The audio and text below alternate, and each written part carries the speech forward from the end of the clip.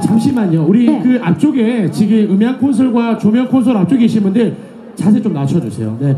여러분들 때문에 지금 우리 감독님들께서 어, 조금 더 멋지게 여러분들 무대 효과를 좀 내드리고 싶은데 아. 잘안 보이는데요. 네, 우리 가인 씨가 직접 한번 얘기 좀 부탁드리겠습니다. 좀 아, 아프겠네 인간들이. 아, 괜찮아요. 그냥 보세요.